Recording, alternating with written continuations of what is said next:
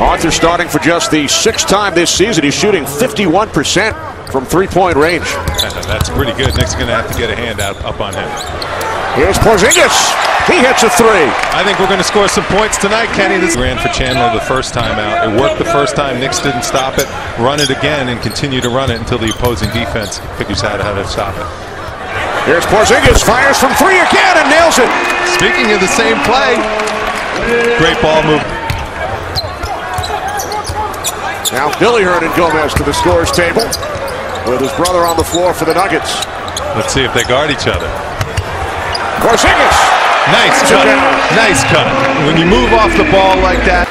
With Porzingis at the line, Wally, the fans here at the Garden chanting Charles Oakley. They shoot the ball very well from the line, so we got to make sure we run them off, make them take contested twos. Thanks, Coach. All right, thank you. Kenny. All right, thanks, Rebecca. Kristaps Porzingis extends the Knicks lead to four as we start. Spent seven plus seasons in Denver. Anthony inside for Porzingis, and we are tied at 70. Spectacular pass and really good. Four minutes remaining in the third. Porzingis had it knocked away by Jokic. Porzingis now with 15. That's a good move. It really is. He didn't settle for the jump shot. Notice he doesn't always settle for the three. There's nothing wrong with taking a step in, a little bit higher percentage shot.